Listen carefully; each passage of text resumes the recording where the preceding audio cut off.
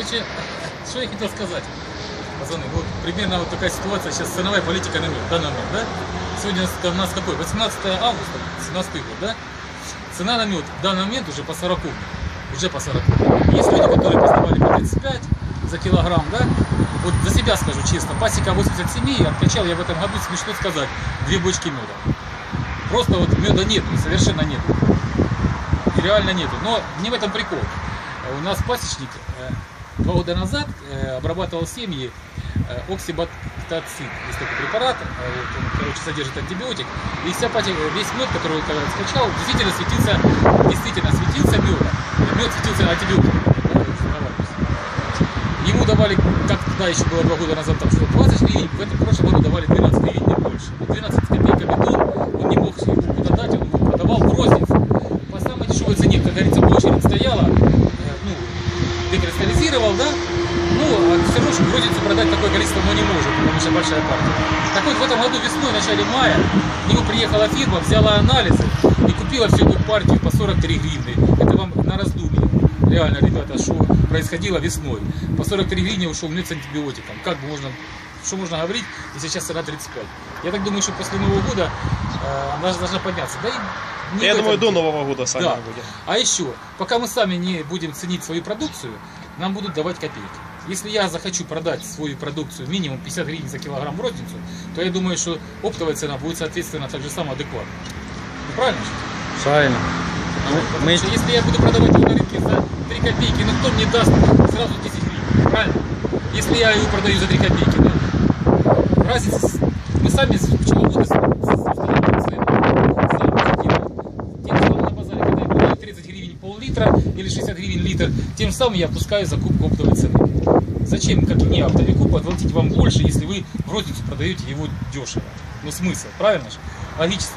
Поэтому я считаю, что свой труд нужно оценить, и молодые поколения пчеловодов сейчас к этому стремится. Откачал человек 3-4 тонны, подо- подождал до декабря месяца на 4 тоннах зазор 5 гривней. На секундочку, это 20 тысяч гривен. Он сэкономил 20 тысяч гривней, можно взять жену и поехать с ней в Египет отдохнуть на неделю. Это на этот зазор, который полежит просто-напросто. И надо приучать к тому, что свой товар надо продавать по хорошей, по нормальной цене. Тогда мы будем процветать. Вот такое. И вывод какой? Подписываемся на канал. Фабро. Да. И вывод, и вывод такой, что нужно не спешить сдавать, а сливать мед в бочки, а не сейчас бежать, как я говорил в предыдущем ролике, с, с- с- с бидонами к заготовителю бежать и по 35, по 38 продавать. Качество не теряет продукт совершенно. Залили в бочки. То же самое, что я купил доллары, да? Как обычно. Покупил человек доллары и положил куда? Под подушку или под матрас. И вот они у него лежат. Ну, представьте, что у вас эти доллары в бочках лежат.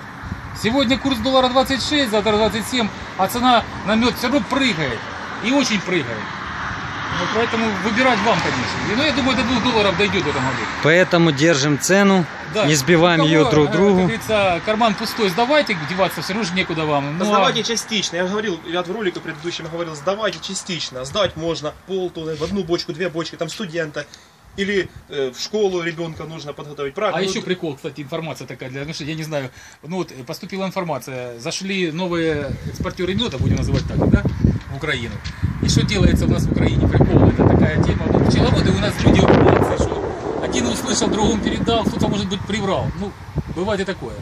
Зашла одна фирма, закупает мед по нормальной цене, начала закупать дороже, чем все представители. Ну, а прежде чем как э, его экспортировать, проводится анализ. Сначала у нас в Украине, потом, допустим, в Бремене. Да? Так вот, есть у нас во Львове э, лаборатория, которая делает анализы.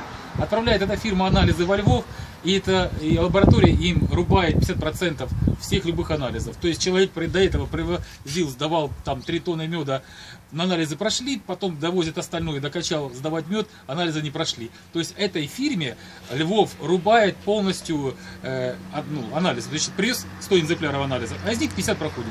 То есть получается, тот человек не рискнет покупать какую-то часть процентов меда. То есть этого экспортера просто садит на жопу. Таким методом. Вообще, Убирает тихо конкуренцию. да, а еще, кстати, прикол. Вот есть фирма, допустим, которая закупает мед, не будем называть, рекламировать эту фирму, да? Тихонечко создается дочернее предприятие без имени, без папы и без мамы, которые ищут хороших, жир, как говорят, как говорят в диетке, жирных медовиков, ну, у которых есть там 5-6 тонн меда, и предлагает им совсем другую цену. чтобы люди, допустим, велись даже на эти вещи. Но я думаю, кто имеет 10 тонн, тут я, кто вообще может давать свои права. Имея, я, имея 5, 6, 10 тонн, я буду давать свои права. Только классная бочка, только же нормальная цена. А не так, что купите мне, вот, пожалуйста. Так вот. Ну и спрашивать получается надо. Да.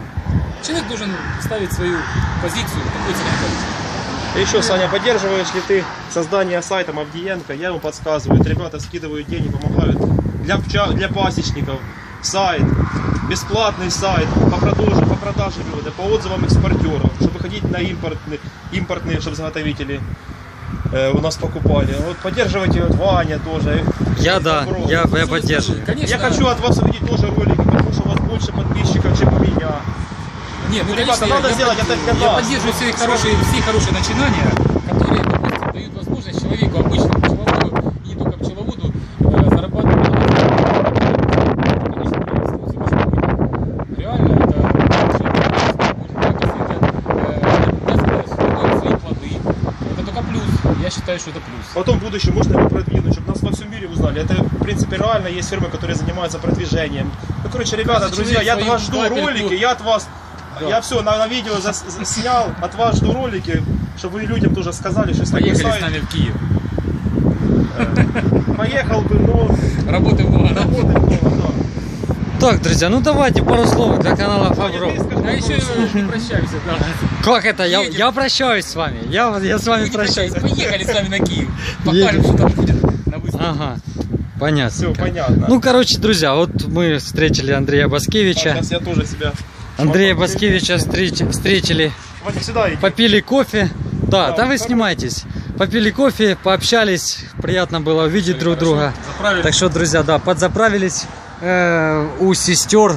Тут такое хорошее заведение, так что нормально. Все, друзья, с вами э, не прощаемся, мы еще С вами встретимся. Иван Фабро, Александр Пасечник и Андрей Москевич. Все, до скорых встреч, ребят. Пока. Всё, пока.